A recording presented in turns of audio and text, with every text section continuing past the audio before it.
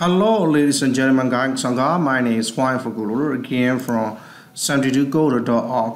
အဲ့ဒီသင်္ကန်းသမားကတော့ကျွန်တော်ကအရင်သင်္ကန်းသမားဖန်တီးခဲ့တဲ့ role တွေအားလုံးပေါ့ဟုတ်တင်ရှိရသင်္ကန်းသမားပေါ့အဲ့ role တွေအားလုံးကျွန်တော် user တွေကိုတွားပြီးတော့တတ်မှတ်ပေးမယ် user မှာအဲ့ role တွေရှိအောင်နော်အဲ့တော့ကျွန်တော်က view တစ်ခုဖန်တီးရမယ်အဲ့ view ကဘာလုပ်မှာလဲဆိုတော့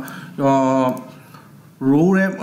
user တွေကို edit လုပ်ပြီးတော့မှာ user တွေကျွန်တော်အခုဘယ်နှယောက်ရှိလဲဒီ database ထဲမှာကြည့်မယ်ဆိုရင် user ကလောတဲ့2ယောက်ပဲထည့်နေကျွန်တော်ထည့်တာ wifi cooler နဲ့ viber cooler သူတို့စီကသူတို့တယောက်စီကိုခေါ်ပြီးတော့ကျွန်တော်တို့ရဲ့ manager လားသူတို့က manager လား supervisor လား sales staff လားတတ်မှတ်ပြီးမယ်နော်အဲ့ဒီတော့ကျွန်တော်တို့ဖန်တီးကြမယ်နံပါတ်1ကကျွန်တော်နှစ်ဆင့်လောက်သွားမယ်နံပါတ်1က user interface ကိုတည်ဆောက်မယ်နံပါတ်2ကျမှကျွန်တော် update တွေလုပ်မယ်အလုပ်အသင်းတွေလုပ်မယ်နော်အဲ့တော့ user interface မှာကျွန်တော်ကဟို row တတ်မှတ်တဲ့ပုံစံပေါ့ဗျာကျွန်တော်က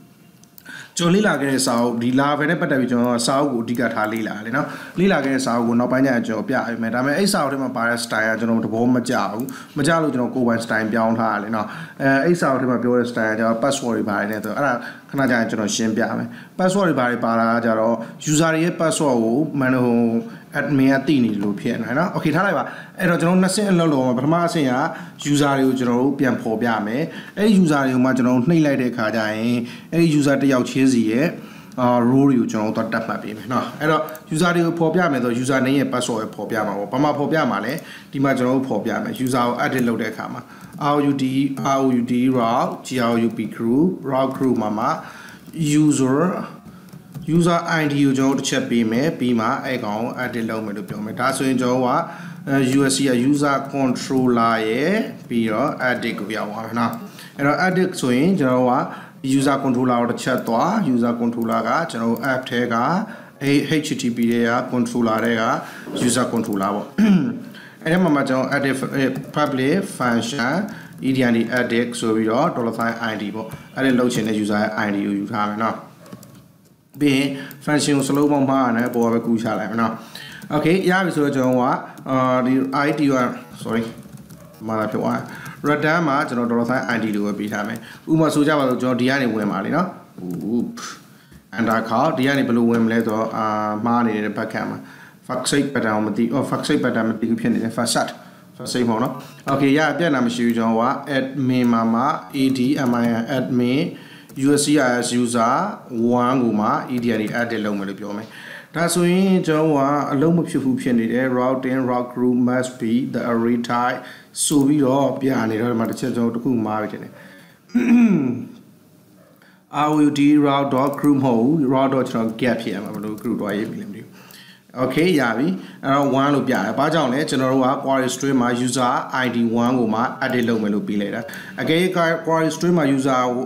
ID တခုခု edit လုပ်မယ်ဆိုရင် user controller ရဲ့ edit ကိုခေါ်ပေးတယ်။ user controller ရဲ့ edit method ဟော edit method ထဲမှာကျွန်တော်က ID ကို return ပြန်ပေးထားတဲ့အတွက်ကြောင့်ဒီမှာ1လို့ထည့်1ကို return ပေးမယ်။2လို့ထည့်2ကို return ပေးလိမ့်မယ်။ Okay အဲ့တော့အဲ user ID 2ကို edit လုပ်မှာပေါ့။လောဆယ်ကျွန်တော်မလုပ်ခင် data တွေဒီလိုလုပ်လိုက်မယ်။ I return မှာမှာ view ဆိုပြီးတော့ဘယ်ကို draw ခိုင်းမလဲဆိုတော့ PACK ရဲ့ဒီ backend တွေက user တွေက edit ကို draw ခိုင်းလိုက်ဟုတ်ပြီနော်။ အဲ့တော့ user ရဲ့ edit ဆိုတော့ backend က resource တွေက view ဒီကောင် backend ပဲလေနော်ဒီ oh sorry ဒီရှင်းမှာ backend ပဲလေနော်အဲ့မှာမှကျွန်တော်က user ကို right click ထောက်ပြီးတော့အာ php file ခုဖန်တီးမယ်ဒီမှာကျတော့ကျွန်တော်က ednd edit.blade.php လို့ပေးလိုက်မယ် okay bled blade မှန်ပါနော်မှန်တယ်အမှကျွန်တော် add extend ရဲ့ extend ဆိုပြီးတော့ layout.mbsdr master လို့ပေးလိုက်မယ်ပြီးရင်နောက်တစ်ဆင့်ကျတော့ကျွန်တော် add SCC tier 1 section ဆိုပြီးတော့ section title ကို name ကိုကြာကျွန်တော် ednd edit user လို့ပြောလိုက်မယ်ဟုတ်ပြီနော်အာ user မှာ u အကြီးနဲ့ရေးလိုက်မယ်နော်ပြီးရင်ကျွန်တော်ကနောက်တစ်ခု add section ဒီတစ်ခေါက်ကျွန်တော် co1 dnd content on override လုပ်မှာပြီးရင် add section ပြည့် ပြညာကျွန်တော်ကဟိုဘက်ကအာဒီမှာဘာမှမဖော်ပြတော့ကျွန်တော် div con din က container ပြီးရင်အရင်ပုံမှန်လုပ်တဲ့အတိုင်းပဲ md colon a md median device မှာမှာကျွန်တော်တို့ကအာ md c md OF colon offset sorry colon md offset ရှိမှလည်းမှားတာဘယ်လိုလုပ် md ကိုရှိရထည့်လိုက်အောင် md a ပြီးရင် colon မှာမှာ MD မှာ column MD မှာ OFF SCD offset ကိုတူထားလိုက်မယ် median device တော့ပြီးရင်ကျွန်တော်က div class မှာ wall တစ်ခုကိုတည်ဆောက်မယ်ပြီးမှဒီထဲမှာကျွန်တော်တို့က edit လုပ်မဲ့ user တွေကိုထည့်ပေးမယ်ဒီတော့ကျွန်တော်ဘာလုပ်ရမလဲဆိုတော့ booster ကိုတစ်ချက်ဖွင့် CR ထဲမှာ phone ကိုတွားရုံပဲဒီကောက်ကျွန်တော်က phone တွေအားလုံးကိုယူလာမယ်ဒီ phone group တစ်ခုလုံးကိုယူလာမှာပေါ့နော်ပြီးရင်ကျွန်တော်ဒီထဲမှာလာထည့်မယ်ဒါပေမဲ့ကျွန်တော်အားလုံးကိုမယူခြင်းတဲ့အတွက်ကြောင့်အာချို့တစ်ခုပဲအရင်ထည့်ထားမယ်နော် ဒီ phone တွေကကျွန်တော်တို့ div group တစ်ခုပဲ phone group တစ်ခုပဲထည့်ထားမယ်เนาะအဲ့ဒါရဲ့ button ရဲ့ပဲနံပါတ်1ကကျွန်တော်တို့က user name ကိုဟို email ကိုလိုတယ်ဗျ user name ကိုလိုတယ်ထားလိုက်เนาะ user name ဒါကျွန်တော်တို့စိတ်ကြိုက်တတ်မှတ်လို့ရတယ်เนาะ USC ရနေရပြီ user name ဒီမှာလည်းကျွန်တော်က ID ကို user name ပေးထား place holder မှာတော့ကျွန်တော်ဘာမှမထားနဲ့နော်လောလောဆယ်ဘာမှမထားဘူးလောလောဆယ်တစ်ခုထားလိုက်မယ် user name လို့ပဲထားလိုက်မယ်เนาะဒီမှာကျတော့ tax လို့ထားလိုက်မယ်ပြီးရင်ကျွန်တော်က email အတွက် email အတွက်ကကြတော့ဒီမှာလာပြီး email အတွက် phone group user name ဆိုတော့ဒီမှာကျတော့ကျွန်တော်က အာအီးမေးလ်လို့နော်ပြီးဒီကအီးမေးလ်အတွက်လို့ဖြားလိုက် please ဆိုတာမှာကျွန်တော်ကအီးမေးလ်လို့ပဲထားလိုက်ရမ်းပဲထားထားမယ်နော် okay အဓိကကျွန်တော်တို့ကဘာမှလုပ်ချင်တာမဟုတ်ဘူးဒီ view လေးကိုပရိသတ်မြင်နိုင်အောင်ပဲအဲ့တော့ပရိသတ်ကမြင်နိုင်နေတယ်ဆိုဘာလုပ်ရမလဲ user admin ဖြစ်ရမယ်နံပါတ်1ကဓမ္မ admin name ပေးပေးထားတယ် prefix မှာလည်း admin တော့အဲ့တော့ तू က user ဖြစ်ရမယ် id ရှိရမယ်ပြီးရင် edit လုပ်နိုင်ရမယ်ဟုတ်ပြီနော်အဲ့ဒါဆိုရင် user id edit ဆိုတဲ့ user ထဲမှာမှာ ID ကိုပေးရမယ်ပြီးရင် edit ဆိုတဲ့ query string ကိုထည့်ပေးရမယ်ဒီ query string ပေါ့ဗျာနော် ID ပါတဲ့ query string အဲ့ဒါဆိုရင် user controller ရဲ့ edit ကိုခေါ်အောင်ပါပေါ့အဲ့ဒါ edit ကိုခေါ်တဲ့ကျွန်တော်ဘာလုပ်ထားလဲ user controller မှာကြတော့ edit ကိုခေါ်တာနဲ့ဒီမှာ user controller မှာအဲ့ဒီ ID ရှိတဲ့တန်ဖိုးကို return backend user edit ဆိုပြီးတော့ backend folder ရဲ့ user folder ရဲ့ edit.blade.php ကိုလမ်းပေးထားအဲ့ဒါဆိုကျွန်တော်ဒီမှာတစ်ချက်ဆန်းကြည့်အောင် enter ခေါက်လိုက်ရင်ဒီမှာလာပြီးတော့ဒီလိုပြမယ် user name ရဲ့ email ရဲ့ ကျွန်တော်ခုရေးလိုက်တဲ့ Harry user name နဲ့ email ပဲ okay မိုက်တာတော့မိုက်ယူရကျွန်တော် user name ရော email ရောအားလုံးပါလာပြီဒါပေမဲ့သူတို့ edit လုပ်မယ်ဆိုကျွန်တော်ဒီမှာတစ်ချက်တန်ဖိုးတွေရိုက်ထည့်ရမယ်မလားဒါပေမဲ့အဲ့တန်ဖိုးတွေကရှိပြီးသားလည်းဖြစ်နိုင်တယ်ရော user name နဲ့ email ကတော့ရှိပြီးသားလည်းဟုတ်တယ်မလားရှိပြီးသားလို့မှဒီနေရာရောက်မှာအဲ့တစ်ချက်နောက်တစ်ချက်ကကျတော့ကျွန်တော်အဲ့တယောက်စီရဲ့နာမည်လိုတယ်တယောက်စီရဲ့နာမည်ဆိုတာဘာနာမည်လဲဆိုတော့ဟို role နာမည်လိုတယ် ဟုတ်ပြီနော် user တယောက်စီတိုင်းမှာ role တွေရှိလိမ့်မယ်ဥပမာကျွန်တော်တို့မှာနောက်ဆိုကြရင်အခုတော့လောလောဆယ်မရှိသေးဘူးပေါ့ဒီမှာ user wifi ကိုလာနဲ့ viber ကိုလာရှိတယ်အဲ့ဒီမှာမှကျွန်တော် user has role ဆိုပြီးတော့ user id က1 role id က1 user id 1ဆိုရင် wifi ကိုလာမလားကျွန်တော်တို့ဒီမှာကြည့်လိုက် user id 1 wifi ကိုလာ row id ကကြာ row ကကြာကျွန်တော်တို့ဒီမှာလာကြည့်လိုက်ရင် row id 1ဆိုရင် manager ပေါ့အဲအဲ့လိုလာတက်မှတ်ပေးမှာဘယ်ထဲမှာလဲဒီ pivot table ဖြစ်တဲ့ user head row ထဲမှာเนาะ okay အဲ့ဒါကိုကျွန်တော်သဘောပေါက်ပြီဆိုရင်ကျွန်တော်ဒီမှာ user name နဲ့ email ကအလိုလျောက်ရလာမှာပေပေါ်မှာမူတည်ပြီးတော့လဲ ID ပေါ်မှာမူတည်ပြီးတော့ အဲ့ဒါနဲ့ user name နဲ့ email ခဏကြာမှကျွန်တော်လှမ်းထည့်ပြမယ် user name နဲ့ email ရလာမှာနောက်တစ်ခုကကျတော့ကျွန်တော်အဲ့ဒီ user မှာအခုလောလောဆယ်တော့ကျွန်တော်ဘာမှမတတ်မှတ်ရသေးဘူးလေနော်ဘယ် user ကဘယ် role ရှိလို့တတ်မှတ်ပြီးခဲ့ရင်ရောကျွန်တော် role တစ်ခုတည်းမဟုတ်ဘူး wifi cooler တယောက်တည်းက manager ရော supervisor ရော staff ကိုဖြစ်နိုင်တယ်အဲ့တော့ကျွန်တော်ကအောက်မှာ selected box လေးတစ်ခုဖန်တီးပေးမယ်ဟုတ်ပြီနော်အဲ့တော့ select box ဆိုတာကျွန်တော်မှတစ်ချက်ပြပေးမယ် HTML select box ပဲอืม အဲ့ဒီမှာနော် selection box ဆိုပြီးတော့ကျွန်တော်တစ်ချက် copy ကူးလိုက်မယ်ပြီးရင်ဆုံးကကျွန်တော် div class from group တွေကိုတစ်ချက်ထည့်ချလိုက်မယ် option ကကျွန်တော်မလိုသေးဘူးဒီမှာ class pre ကိုသူ့ကို name ကိုကျွန်တော် row လို့ထားလိုက်မယ် ROI လို့ဒါပေမဲ့ name ကကြတော့ခုထက်ပိုပြီးရှိမှာတယ်နော် user တယောက်က manager ပဲလည်းဖြစ်မှာမဟုတ်ဘူး supervisor ပဲလည်းဖြစ်မှာမဟုတ်ဘူးပြီးရင်လည်းဖြစ်လိမ့်မယ်ဒါမှမဟုတ် manager ရော supervisor ရော staff ရောသုံးခုလုံးလည်းဖြစ်နိုင်တယ်အဲကြောင့်မလို့တို့ကျွန်တော်က array call လိုက်တယ် line array name နဲ့ line ကိုလိုက်နော်ပြီးရင် သူ့ကို name ပေးပြီးွားရင် multiple လို့ချက်ထည့်တာ multiple slot slot a ပဲဖြစ်အောင်လို့လောလောဆယ်တော့ကျွန်တော် OPTN OTI1 option ဆိုပြီးတော့အာ value ကို manager လို့ပဲခဏထည့်ထားမယ်တကယ်တော့ manager လို့ထည့်မှာမဟုတ်ဘူးเนาะဒီမှာကျွန်တော်ပြကြလို့ manager လို့ပဲခဏထည့်ထားမယ်ဒါဆိုရင်မိတ်ဆွေတို့ကမလာ refresh လုပ်ကြည့်လိုက်ရင် manager ဆိုရဲ slot box လေးပေါ်လာနိုင်မယ်เนาะအဲတကယ်နှစ်ခုထည့်ထားရင်နှစ်ခုပေါ့ဗျာเนาะကျွန်တော်နှစ်ခုဥမှာထည့်ထားမယ် manager ရဲ့ supervisor ရဲ့ပေါ့ SUP ရဲ့ super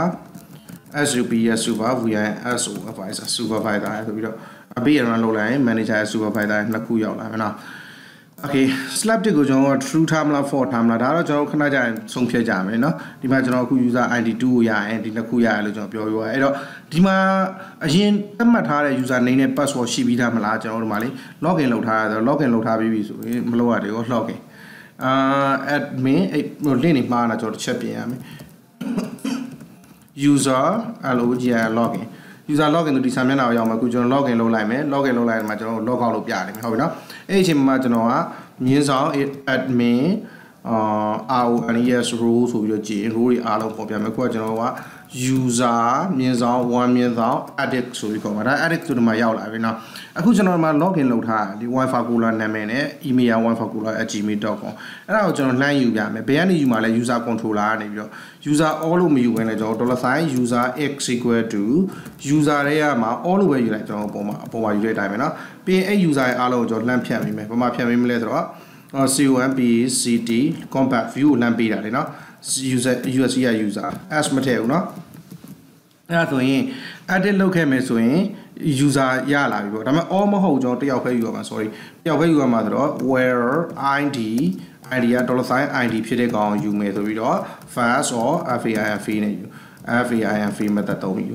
နော်ပြီးရင်ကျွန်တော်ကအဲ့ဒီ user ကိုမှရလာတဲ့ user ကိုမှဒီဘက်ကိုလှမ်းပို့ထား bucket နဲ့ user တွေက edit ထဲကိုအဲ့တော့ဒီမှာပေါ့ကျွန်တော်တို့เนาะအဲ့တော့ဒီမှာဆိုရင် user name နေရာမှာဒီမှာ place ဒီကျွန်တော်တို့ဒီ place holder ကိုဖျက်လိုက်မယ်ဖျက်လိုက်ပြီးတော့လှမ်းပေးခဲ့တယ်ဟိုဘက်ကရလာတယ်เนาะ value x equal to ဟိုဘက်ကရလာတဲ့ကျွန်တော်ဘာလဲ user เนาะဘယ်ကနေလှမ်းပို့တော့ကျွန်တော်ဒီမှာ user controller ကနေပြီးတော့ user လို့လှမ်းပို့ရမလားအဲ့ဒီ USC က user ရဲ့ဘာကိုပေးမလဲဆိုတော့ name ကိုပေးမယ်ဒီမှာကျတော့နောက်တစ်ခုဒီမှာ place holder ကိုကျွန်တော်ဖြုတ်လိုက်မယ် vnu value x equal to ဆိုပြီးတော့ user ရဲ့မှာ email ကိုလှမ်းပို့မယ်เนาะ email ကိုနော် အဲပြီးရင်ကျွန်တော် refresh လုပ်လိုက်ရင်ဒီမှာလာပြီးတော့ user name က wifi cooler လို့တွေ့ရမယ်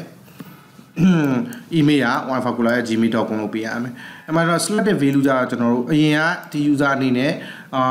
row ရှိလားမရှိလားကျွန်တော်တို့ရှာရမှာလေနော်။အဲ့တော့ row ရှိလားမရှိလားရှာရမယ်။ရှာရကြတော့ကျွန်တော် row ကိုခေါ်သုံးရမှာဖြစ်တဲ့အတွက်ကြောင့် u sp sp tin party တွေကမှ permission တွေကပြင်ကျွန်တော် model တွေကမှ row ကိုကျွန်တော်လန့်ခေါ်တုံးမယ်။ ဟုတ်ပြီနော် Sparty ဒါမှအာလာပဲ permission အတွက်ကျွန်တော် install လုပ်ထားတဲ့ package လीနော်အဲ့မှာတော့ dollar sign row x equal to row မှာ s ထည့်လိုက်မယ် x equal to ဘယ်ရမအောင် row တွေက all ဆိုပြီးကျွန်တော်လှမ်းရမှာအဲ့ rows တွေအားလုံးကိုလည်းကျွန်တော်ကဘယ်သူ့ကိုလှမ်းပို့ပေးမလဲဟိုဘက်က view ကိုလှမ်းပို့ပေးမယ်အာ RO RDS row ဆိုပြီးတော့အဲဆို view မှာကျွန်တော်တို့က row တွေအားလုံးရလာပြီအဲ့ row တွေကဘာမှ assign လုပ်မအောင်ကျွန်တော်ဒီနေရာမှာ assign လုပ်မှာရယ်နော် supervisor တို့ manager တို့အဲ့တော့ဒီ option နေရာမှာ assign လုပ်မှာပေါ့နော် option နေရာမှာ assign လုပ်မယ်ဆိုကျွန်တော်တို့မှာ obdien tio and option ဆိုပြီးတော့ value မှာကျွန်တော်တို့ဗာပေးလိုက်မလဲဆိုတော့အာဟိုဘက်ကရလာတဲ့ row ကိုပေးရမယ်ဒီလိုလုပ်လိုက်မယ်ဟိုဘက်က array အနေနဲ့ရလာမှာမလား row ကတစ်ခုလေးရှိရမှာအများကြီးရလာမှာလေနော်အဲ့တော့ဒီက array အနေနဲ့ရလာရင် array ကို loop ပတ်မယ် for each each for each ဆိုပြီးတော့ dollar sign row x dollar sign r by row ဟုတ်ပြီနော်ပြီးရင် and for each ဆိုပြီးတော့ဒီမှာကျတော့ကျွန်တော် option ထည့်လို့ရပြီအဆုံးမှာထည့်ခြင်းနဲ့ option ပေါ့ dollar sign row ရဲ့မှာဘာကိုပြီးလိုက်ရမလဲ row ရဲ့မှာ name ကိုပြီးလိုက်ရမယ်နော်ဒီမှာလည်းကျွန်တော် row name ကိုထည့်ထားမယ် dollar sign hour row ရဲ့မှာ name ကိုထည့်ထားလိုက်မယ်အဲဒါကျွန်တော်မှာ refresh ပြန်လုပ်လိုက်ရင်အာ manager ရဲ့ supervisor ရဲ့ C staff ရဲ့သုံးခုပေါ်လာမယ်ဒီအောင်မှာ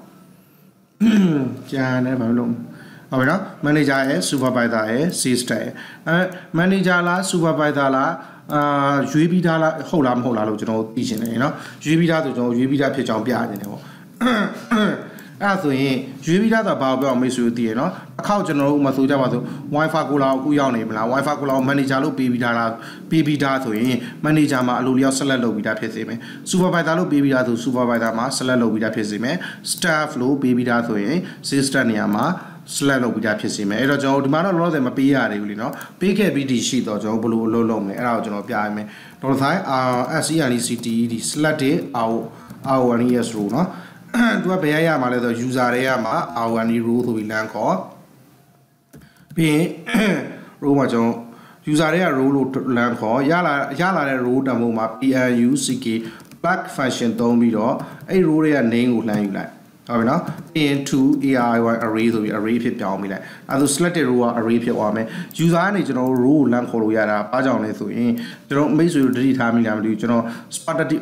sparty p ရဲ့လာတော့ပဲ permission ကိုပေးပြီးနောက်ပိုင်းဒီ hash row ဆိုတဲ့ကောင်ကိုကျွန်တော်လာပြီးလာထည့်ထားရတယ်နော်အဲကြောင့်မလို့ကျွန်တော်ဟို polymorph polymorphic relation တူချိန်လိုက်မယ် hash row ဆိုပြီးတော့အဲ့တော့ polymorphic relation နဲ့ချိန်ပြီးသွားပြီဆိုရင် money to money relation တင်တယ်ချိန်ပြီးသွားပြီဆိုရင်ကျွန်တော်ကဟဲ့ကောင်လှမ်းယူလို့ရပြီလीနော် row ကိုလှမ်းယူလို့ရပြီအဲ့ row ကရလာတဲ့ခါကျရင် row ကပထမအချိန်ကျရင်ကျွန်တော်ဘာပဲတွေ့မအောင်၃ခုရှိတယ်ဟောပထမအချိန်ကျရင်၃ချိန်လောက်ရမှာ manager ဒုတိယအချိန် supervisor တတိယအချိန် staff အဲ့တော့တစ်ခုစီရဲ့ name ကိုယူပြီးတော့ကျွန်တော်က array ဖြစ် array ထဲကိုထည့်ပေးလိုက်တယ်အဲ့ဒါအားလုံး loop လုပ်ပြီးွားရင်ကြတော့ဒီထဲမှာ array ထဲမှာကျွန်တော်တို့ data မျိုးရှိတယ်၃ခုလုံး manager supervisor c staff ဝင်လာပြီဟုတ်ပြီနော်ဒါပေမဲ့အခုအချိန်မှာကျတော့ကျွန်တော်တို့က အာဒီကောင်ပြောတာအပေါ်ကကောင်အောက်ကကောင်ကကျတော့ကျွန်တော် selected row ကိုရှာမယ်ဆိုတော့ user တွေက has row ဆို user မှာ row ရှိလားမရှိလားကြည့်မှာရှိခဲ့ရင်တော့ကျွန်တော်အဆုံးကပြောလို့၃ခုလုံးပေါ့အခုလောတယ်တော့မရှိခဲ့သေးဘူးဘယ်ကနေရှာမှာတူ pivot table ကိုချိန်ပြီးရှာပါလိရှာတဲ့ခါကျရင်ဒီမှာဘာမှမရှိသေးဘူးမရှိသေးတဲ့အတွက်ကြောင့် user row မှာတန်ဖိုးရှိမှာမဟုတ်ဘူးဒါပေမဲ့နောက်ပိုင်းကျွန်တော်ရှိပြီးွားရင်တော့ user row မှာတန်ဖိုးရှိနေလိမ့်မယ်နော်အဲ့တော့တူပါကျွန်တော် return ပြန်ပေးလိုက်မယ် SCLECT selected our res row ဆိုပြီးတော့ plan ပေးလိုက်မယ်အဲ့ selected row မှာကျွန်တော်ဒီဘက်ကနေပြန်ခေါ်မယ်ခဏလေးကျွန်တော် video ခဏရက်လိုက်မယ်ဒီမှာအတန်စုမှာဆိုရင် Okay so အဖို့ရဖွဲ့ရပြန်လောက်ခဏရက်လိုက်တာအဲ့တော့ user selected row ဒီခုကိုကျွန်တော်မိတ်ဆွေတို့ပြောတာတဘောပေါက်မှထင်နော်အာကျွန်တော်ဒီမှာ user selected row ကကြာလောလောဆယ်တော့ pivot table ကနေလမ်းရှာမှာဒီနော် pivot table ကနေပြီးတော့ row id user id ရှိရဆိုရင်အဲ့ row တွေနဲ့ user id ကိုလမ်းယူပြီးမှာလေနော် အဲ့တော့အခုလောဆယ်တော့ကျွန်တော် selected row ကမရှိသေးဘူးမရှိတော့ဘလာပဲလာအောင်ပါဒါပေမဲ့ရှိခဲ့ရင်ကျွန်တော်အလုပ်ဖြစ်အောင်ဒီဟာထည့်ထားတာလေနော်ပြီးရင်ကျွန်တော်လာပြီးတော့ scnect ဒီ selected x equal to true for ကျွန်တော်တို့ထည့်ပေးရမှာ true for ကျတော့ကျွန်တော်ကအာဒီတိုင်းမထည့်တော့ပြီးတော့ပဲねဒီရော php function တစ်ခုနဲ့ထည့်ပေးလိုက်မယ်အာ in array array in array ထဲမှာမှာအဲ array ထဲမှာလဲဆိုတော့ကျွန်တော်တို့ dollar sign role rows ထဲက နေညာရှိခဲ့ရင်ဘယ် array ထဲမှာလဲကျွန်တော်ဟိုဘက်ကပို့လိုက်တဲ့ screct ဒီ select တဲ့ row ထဲမှာရှိရင်နော်အဲဆိုရင်ကျွန်တော်က select x equal to true လို့ကျွန်တော်တစ်ချက်ပေးချင်တာဟုတ်ပြီနော် select x equal to true ဒီကောင်ကျွန်တော် conditional statement နဲ့လမ်းခေါ်လာမယ်အဲ့ဒါမှကျွန်တော်အလုပ်ဖြစ်မှာနော်အဲဒီကောင်အောက်ဆင်းအောက်ဆင်းပြီးတော့ f or if အကယ်၍များ um ဒီကောင်ဖြစ်ခဲ့တယ်ဆိုရင်အောက်ကကျွန်တော်က အာ tab ခေါ်ပြီးတော့ end and if ဆိုပြီးတော့ချက်ခေါ်မယ်အဲ့တော့ selected row က true ဖြစ်ခဲ့တယ်ဆိုရင်ဆိုပြီးတော့ကျွန်တော်လှမ်းစစ်မယ်ဆိုရင် if ပြီးတော့ in array in array ထဲမှာမှာဘာဘယ်ဘယ်ကောင်ပါခဲ့ရင်လဲ row တွေက name ပါခဲ့ရင်ဟုတ်ပြီနော် row တွေက name ပါခဲ့ရင်ဘယ်ထဲမှာလဲဆိုတော့အာကျွန်တော်ရဲ့ dollar sign scnect ဒီ selected our row ထဲမှာနော် selected row မှာ as ပါလာမယ်ဒီဘက်ပြီးတော့ပါရနော် selected row မှာ as ပါဆိုရင် as ထည့်ပြီးလိုက်ပါခဲ့တယ်ဆိုရင် selected ကိုကျွန်တော်က true ထားမယ်မပါခဲ့ဘူးဆိုရင် for ထားမယ်ပေါ့နော်အဲ enter ခေါက်လိုက် enter ခေါက်ပြီးတော့ selected ကဘာဖြစ်မလဲဆိုတော့အာ sclect ဒီ selected ဖြစ်တယ်နော်ပါခဲ့ အဲ့တော့ဒီမှာ double code လေးတစ်ခုကြံခဲ့တယ် double code လေးကိုကျွန်တော်ထည့်ပေးလိုက်မယ်ဒီမှာ refresh ပြန်လုပ်လိုက်ကျွန်တော်လောဆယ်ပါမှာမဟုတ်ဘူး exception ဆိုပြီးတော့ကျွန်တော်အာအဲ့ကောင်ပြက်နေတန်တယ်အဲ့ကောင်ပြက်နေတန်တာကိုကျွန်တော်ရှင်းရမယ်ဆိုတော့ okay အဲ့တော့ဒီမှာအာ sorry ခဏတင်ငန်းလာရက်နေလားလို့ကြည့်ရအောင်နော် in array ထဲမှာပါခဲ့လားကျွန်တော်ဒီတိုင်းစစ်တယ်မှန်ပြီအော်ဒီ nf ကကျွန်တော်အပေါ်တက်ရမှာနော် nf ကဒီမှာကျွန်တော်မပိတ်ခင်ကိုတက်ထားပြရမယ် nf နော် အမှန်မှကျွန်တော်တို့ဒီမှာ live refresh ပြန်လုပ် and refresh ပြန်လုပ်လေမှားနေတော့မဲ့တော့ user scope row call ဆိုပြီးတော့ um app ထဲက hex row ရဲ့လေးသခေါ်မှာမှားလာတယ် hex row ကိုကျွန်တော်ဒီမှာလာပြီး RONES row နဲ့လာကြည့်ကြည့်အောင်ဟုတ်ပြီနော်ဟောဒီမှာ under ခေါ်လိုက် okay ရနော်အစောကကျွန်တော်ပြည့်နေတန်တာဒီမှာ RONES row မပါလို့ S ပါမယ်နော် user ရဲ့ row ဆိုပြီးလမ်းခေါ်တဲ့ခါကျရင် ပြီးရင်ကျွန်တော်ကဒီမှာကြတော့လေတရားကျွန်တော်နောက်တစ်ခေါက်ပြန်ပြီးတော့တစ်ချက်ပြန်ရှင်းပြမယ်မိတ်ဆွေတို့เนาะအဲနံပါတ်1ကကျွန်တော်ဘာလုပ်တာလဲဆိုတော့ဒီမှာလာပြီးတော့ user user ရဲ့ ID ကိုပေးပြီးတော့ edit လုပ်ဖို့ query string မှာရခဲ့တယ်ဆိုရင် user controller ရဲ့ edit ကိုခေါ်လိုက်မယ်။ဒါဆို user controller ရဲ့ edit ဖြစ်တဲ့ဒီကောင်ကျွန်တော်တို့ရောက်လာပြီ။ ID ကကြောင့်ကျွန်တော်ဒီမှာလှမ်းပေးလိုက်လို့လीနော်ဒီ route မှာလှမ်းပေးထားတဲ့အတွက်ကြောင့် ID ကိုလည်းကျွန်တော်ရလာ။အဲမှာအဲ့ ID ရှိတဲ့ user ကိုကျွန်တော်လှမ်းဖမ်းလိုက်တယ်။လှမ်းဖမ်းပြီးတော့ သူ့ရဲ့ကျွန်တော်တို့က row တွေအားလုံးလည်းရယူလိုက်တယ်။ဒီကောင်အဲကြောင့်မလို့ကျွန်တော်တို့ဒီ user နဲ့ဒီ row ကဒီမှာလာတုံးလို့ရအောင်ဒီမှာ user ရဲ့ name နဲ့ user ရဲ့ email ရဲ့ပြီးတော့ user ရဲ့ row ရဲ့ကိုကျွန်တော်တို့ဒီမှာလာတုံးလို့ရအောင်နောက်တစ်ဆင့်ကျတော့ကျွန်တော်တို့ကဒီတစ်ခုကကြတော့ကျွန်တော် user ကအရင်တော့အဲ့ဒီ user ကိုကျွန်တော်တို့ row တစ်ခုခု define လုပ်ထားလား define လုပ်ထားလားဆိုတော့ကျွန်တော်စစ်ဖို့အတွက် user ရဲ့ row တွေကိုလမ်းယူတယ် အာ user အဲ့ user name ကိုသုံးပြီးတော့အဲ့ဒီ user name ရှိရဲ့ row ကိုလမ်းယူတာရလာခဲ့ရင်ကျွန်တော်ရှိခဲ့ရင်အဲ့အဲ့ဒီ user ရဲ့ name ကိုလှမ်းယူပြီးတော့ array sorry row ရဲ့ name ကိုလှမ်းယူပြီးတော့ array တွေကိုကျွန်တော်ထည့်ပေးထားတယ်အဲ့တော့ဒီ selected row ကဒီ user အတွက် define အရင်တော့လောက်ထားတယ် rank ဖြစ်မှာပေါ့ဗျာ rank ဆိုတာကျွန်တော်ပြော manager တို့ supervisor တို့လေနော်ပြီးရင်ကျွန်တော်ကဘာအဲ့ user ရော row ရော selected row ရောဒီကိုတစ်ချက်ပြန်ပေးတယ်ဟုတ်ပြီနော် ပေးပြီးသွားရင်ကျွန်တော်ဒီဘက်ကကျတော့ user သုံးတယ် name အဖြေထုတ်တယ် user variable တုံးပြီးတော့ array သုံးပြီးတော့ email အဖြေထုတ်တယ်ဒါဒီမှာကျတော့ကျွန်တော် row array ကိုကျွန်တော် looping ပတ်တယ်အဲ့ဒီ row array ကိုပတ်ပြီးတော့ row name တွေကိုကျွန်တော်အဖြေထုတ်ပေးတာဟုတ်ပြီဒါပေမဲ့အဲ့ row name တွေထဲမှာမှာအရင်တော့ user ဟို manager ဖြစ်ခဲ့ဘူးလားဗျာအမြင်တော့ manager လို့တတ်မှတ်ထားဘူးလား supervisor လို့တတ်မှတ်ထားဘူးလားကျွန်တော်တို့စစ်တာစစ်တော့ in array ဆိုပြီးတော့ကျွန်တော်တို့ကဒီ selected row array ထဲမှာ current ရောက်နေတဲ့ user name ပါလားမပါလားကျွန်တော်တို့စစ်တာ selected row ထဲမှာမိတ်ဆွေတို့ကြည့်မယ်ဆိုရင်ကျွန်တော်ဘယ်လိုပြလို့ရလဲဆိုတော့ဒီလိုပြလို့ရတယ်အာ selected row ကိုကျွန်တော် id1 return $sign se secnect selected row ဆိုပြီးပြရတယ် အဲ့ဒါမှလာပြီး enter ခေါက်လိုက်ရင် selected row ကဘာမှမရှိဘူးဖြစ်နေ။ဘာလို့လဲဆိုတော့ဘာမှမရှိဘူးလေနော်။ဒါပေမဲ့ဘယ်အချိန်ကျရင်တန်ဖိုးရှိလာလိမ့်မလဲ။ခဏကျရင်ကျွန်တော်တန်ဖိုးထည့်လိုက်တဲ့ခါကျရင်တော့ရှိလာလိမ့်မယ်လေနော်။အော်တန်ဖိုးထည့်ရဆိုတာဘယ်လိုပြောအောင် user ကိုကျွန်တော်တို့ row assign လုပ်ပြီးသွားရင်ရှိလာမယ်။ခဏကျရင်ကျွန်တော်ပြန်ပြပေးမယ်တက်တယ်နော်။ပြီးတော့ကျမှကျွန်တော်တို့က Harry edit ကိုခေါ်ပြီးတော့အာသူဒီ selected row ထဲမှာကျွန်တော်တို့ current ရောက်နေတဲ့ user name ပါလားမပါလားစစ်တာ။ ပါတယ်ဆိုရင်ကျွန်တော်ကသူ့ကို selected လို့ပြောမယ်မပါဘူးဆိုရင်တော့ဒီ if statement အလုံးမလုပ်ဘူးအနော်မလုပ်ရင်မတည့်ဘူးဆိုတာ select မလုပ်ဘူးဆိုတဲ့သဘောဖြစ်သွားအဲ့ဒါဆိုဒီမှာ select မလုပ်ထားအောင်ဒီနော်အခုကျွန်တော်တို့ဒီတိုင်းပြောတာတော့မိတ်ဆွေတို့တအားရှင်းချင်မှရှင်းလိမ့်မယ်ခဏကြာရင်ကျွန်တော်ရှင်းလာလိမ့်မယ်နော်ရှင်းလာလိမ့်မယ်ဆိုတော့ဒီခု you phone တုံးခုလုံးရပြီ user name လည်းရပြီ email လည်းရလာပြီရလာရင်ကျွန်တော်က multiple slot box လည်းရပြီပြီးရင်ကျွန်တော် submit လည်းလုပ်ပြီးသွားပြီ form မှာကျွန်တော်ကဘာလုပ်မလဲ mb3 ဆိုဒီ method x equal to post လို့လုပ်မယ်အဲ့ဒါဆိုရင်ကျွန်တော်က post method နဲ့အမိုးတစ်ခုကိုဖမ်းပေးအောင်မယ် rud route. ဖို့ဆိုပြီးတော့ user user ရဲ့ ID နဲ့မှာကျွန်တော်တို့ edit လုပ်မယ်လို့ပဲပေါ်လို့ပဲပြောမယ်အဲ့ဒါဆိုရင် user controller at UPDD update method ကိုခေါ်ပေးလိုက်မယ်အဲ့ဒါဆို user controller ရဲ့ update method ကျွန်တော်တစ်ချက်သွားကြည့်အောင်မရှိသေးဘူးကျွန်တော်မှလာတိဆောက်လိုက် public function update update ဆိုတော့ကျွန်တော်က request ပါလာမယ်เนาะ IQUSD request IQUS $sign request ပေါ့โอเคနော်ပြီးရင် ID တခုပါလာမယ် ID ကိုလှမ်းယူထားလိုက်ကဲအဲ့တော့လောလောဆယ်ကျွန်တော်က ID ကိုပဲကျွန်တော်အဖြေထုတ်ကြည့်မှာ request ကိုပဲအဖြေထုတ်ကြည့်မှာကျွန်တော်เนาะအဲဒီတော့အာဘာလို့မလဲဆိုတော့ return ပြီးတော့ကျွန်တော် လမ်းပို့လိုက်တဲ့ i request ထဲမှာအားလုံးလမ်းဖမ်းလိုက်မယ်ကျွန်တော်ဟုတ်ပြီနော်အဲ့ဒါဘေးရရမအောင်ကျွန်တော်ဒီကနေပြီးတော့ former submit တစ်ချက်နှိပ်လိုက်ရင်ရလာပါလိမ့်နော် former ကျွန်တော်ကနည်းနည်းလေးဒီမှာ pattern လေးကို primary လို့ပြောင်းထားအောင်မယ် PDN BIM ပြောင်း primary လို့ပြောင်းထားမယ်ဒီတစ်ခေါက်ကျတော့ကျွန်တော်ကအာ edit USC user ပဲနော် okay ဒါဆိုဒီပုံစံလေးဖြုတ်အောင်မယ်နော်ကြားတယ်ဟုတ်ခုနောက်ပိုင်း internet line ကကြားနောက်ခင်ကျွန်တော်ကဟိုသာ CDN နဲ့တွားလို့လေနော်အခုကျွန်တော်မှာ hard reset ချတယ်ပြီးရင် manager လို့ထည့်ပြီးတော့ဟို submit နေကြည့်မယ် token mismatch exception နဲ့အဲ့ဒါလေးကျွန်တော်တစ်ချက်ထည့်ပေးအောင်မယ် token mismatch exception ဆိုတော့ um CSRF ပဲထည့်ပေးလိုက်မယ်နော် CSRF CSRF CSRF ပဲထည့်ပေးလိုက်โอเคနော်အဲ့ဒါ token member accession မပြတော့ဘူးကျွန်တော်ပြန်သွားမယ် enter ခေါင်းမယ် wifi cola wifi cola ရဲ့ gmail.com မှာ edit user ဆိုရင်ဒီမှာကြည့်လိုက် သူက program ID ပြပြီးတယ်ပြီးရင် row က manager နဲ့ကျွန်တော်ထည့်လိုက်တာကိုပြရမယ်အဲ့ဒါဘေးရရအောင်ကျွန်တော်ဒီကနေပြီးတော့ request ကနေရတာမှာ request all ဆိုပြီးဟုတ်ပြီနော် ID ပါကျွန်တော်အဖြေထုတ်ခြင်းလဲထုတ်လို့ရတယ်ဒီမှာလာပြီးတော့ echo@go.id ဆိုပြီးတော့အမှကျွန်တော်လာပြီး enter ပြန်ခေါက်တဲ့ခါကျရင် manager လို့ပြောမယ်ဒါဆိုလောက်ရတယ် ID က1နဲ့နော်ပြီးတော့ token ကကျွန်တော်အဆုံး security token နော် row ကကျတော့ manager တဲ့ okay ရလာပြီဟေ့ဆိုကျွန်တော်တို့ update လုပ်ပေးရမယ် update လုပ်ပေးမယ်ဆိုတော့ကျွန်တော် user ကိုပြန်တက်မှတ်မယ် user x equal to user တွေကမှာ where id dollar sign id ဖြစ်တဲ့ကောင်မှာ first or FIM fee ဆိုကျွန်တော်လမ်းခေါ် first of all function method သုံးပြီးခေါ်ရမယ်ပေါ့နော်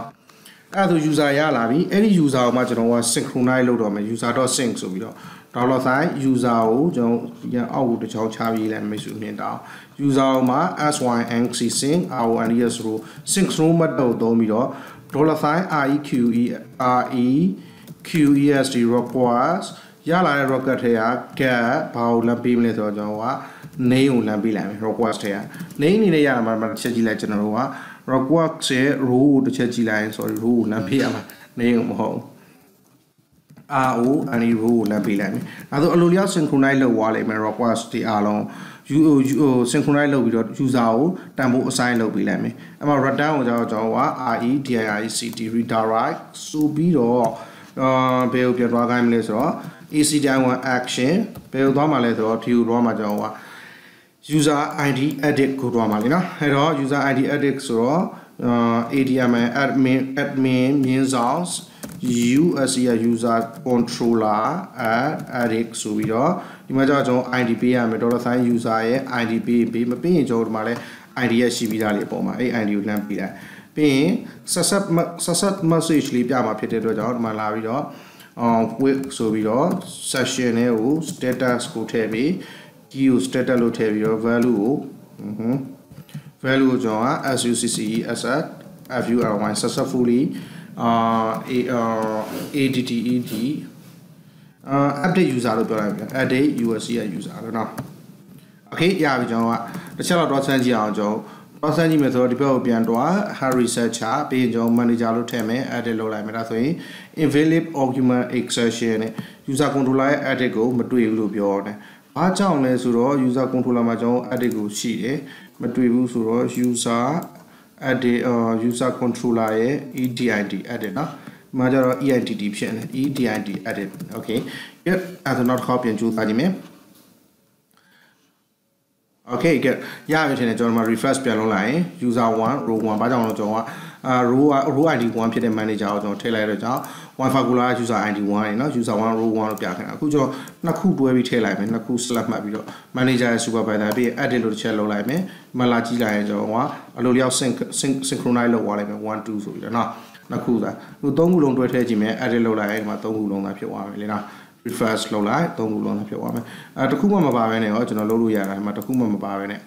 อืมတခုတော့ထည့်ရမယ်လို့ဖြစ်နေနော် တခုမှမပါတခုကိုကျွန်တော်ထည့်အောင်မယ်ဆိုတော့မထည့်တော့ထားလိုက်အဲ့တော့ဒီမှာ user name မပါဘဲနဲ့ကျွန်တော်ထည့်ကြည့်အောင်ဒီမှာ edit လို့လုပ်ခဲ့ရင်အာဒီမှာလာကြည့်လိုက်တစ်ချက်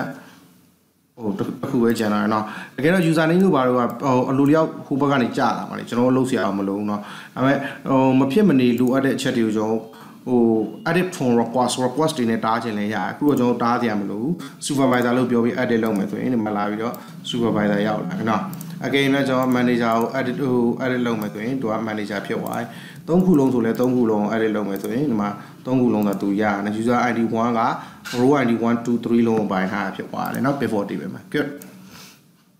အဲ့တော့ကျွန်တော်ဗာဆက်လုပ်ရမလဲဆိုတော့ဒီဘက်ကိုတွားပြီး user ကိုလည်း synchronize လုပ်ပြီးသွားပြီ။နောက်မိတ်ဆွေတို့နောက်တစ်မျိုးရှိတာအခုကျွန်တော်က user edit မှာလာအလုပ်လုပ်တာเนาะ။အကယ်တစ်ခါတလေကြာရင်ကျွန်တော်ဖြစ်တာ user edit မှာအလုပ်မလုပ်ချင်မင်းနဲ့ user edit မှာကြတော့ user တွေကိုပဲကျွန်တော် user name ပြောင်းတာတို့ password ပြောင်းတာတို့လုပ်ခွင့်ပေးလို့ရတယ်အခုတော့ကျွန်တော်က admin ကနေပြီးတော့လှမ်းပြီးတော့ user တွေကို role တွေတက်မှတ်ပြီးတဲ့ညီကိုလှုပ်ချလိုက်တာပေါ့နော်အဲ့တော့28မိနစ်ဆိုတော့ကျွန်တော်ဒီမှာခဏရက်လိုက်မယ်နောက်တင်ကတော့မှကျွန်တော်